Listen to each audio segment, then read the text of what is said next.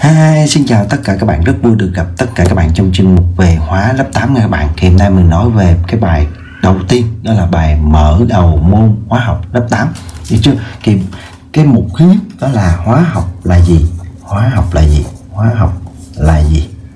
Thì mình sẽ lấy ví dụ và mình nói hóa học là gì gồm có hai ý Thứ nhất đó là nước nè Đường nè Muối nè Bột ngọt nè thấy chưa? Vân vân và vân vân thì hóa học chính là một môn học nghiên cứu về những cái này người ta gọi là chất, ok chưa?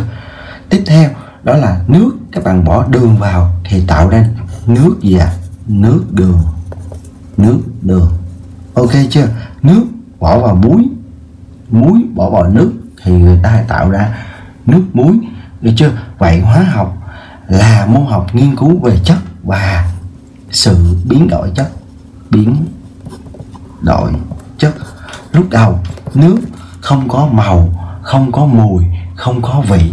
Sau đó các bạn bỏ đường vào thì nước có, có thể nó, nó chuyển qua một cái màu à, màu màu gì đó mà nó gọi là gọi là không phải màu trong suốt nữa mà hơi đục đục một chút xíu.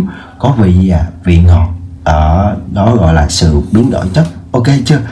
Rồi thứ hai đó là vai trò vai trò vai trò của học, thì vai trò của học rất nhiều. Ví dụ như cuộc sống hàng ngày hàng ngày hàng ngày.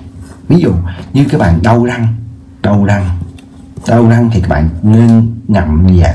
Ngậm nước muối, thì các bạn bỏ nước vào muối hay bỏ muối vào nước thì các bạn sẽ tạo ra nước muối để chống tình trạng đau răng. Được chưa? Đó là hàng ngày. Thứ hai là nó có vai trò trong nông nghiệp nông nghiệp thì hồi xưa các bạn muốn bón cho cây tươi tốt thì các bạn à, bón phân nè tưới nước nè bón phân tưới nước. Được chưa? Phân thì gồm có phân bò phân gà phân vịt phân heo là những cái phân đó ở trạng thái trạng thái rắn. Bây giờ thì do do có hóa học vào đó nên người ta đã tạo ra những cái à, loại phân mà trạng thái gọi là trạng thái lỏng nha các bạn đó được chưa rồi à, thứ ba nó ứng dụng trong công nghiệp. Công nghiệp. Công nghiệp ví dụ như khi các bạn à, có một cái vỏ xe các bạn muốn muốn nó à, màu đỏ màu cam màu vàng thì các bạn phải pha sơn và các bạn dùng phương pháp gọi là sơn sơn gì à, sơn tĩnh điện hay sơn gì đó để cho cái lớp sơn nó bám vào cái cái vỏ để nó sẽ ra được màu đỏ, màu cam, màu vàng, màu trắng, vân vân và vân vân. Được chưa? Nó có ứng dụng trong nghiệp, trong công nghiệp. Vân vân và vân vân. Rất có nhiều ứng dụng nha các bạn. Rồi, cái thứ ba, để học giỏi hóa. Hóa lớp 8 thì các bạn nhớ giúp mình gồm, thứ nhất, các bạn phải thuộc tên nguyên tố. Tên nguyên tố. Thì các bạn hiểu sơ trước tên nguyên tố, ví dụ như nước được tạo bởi nguyên tố hydro à, hydro và oxy ok chưa? Rồi tạm hiểu vậy thôi.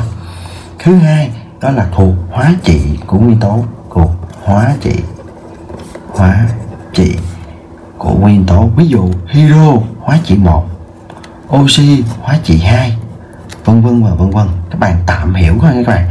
Thứ ba là các bạn phải thuộc thuộc tính chất vật lý vật lý và hóa học hóa học hóa học của chất đó của chất đó. Ví dụ như nước thì có tính chất vật lý gì?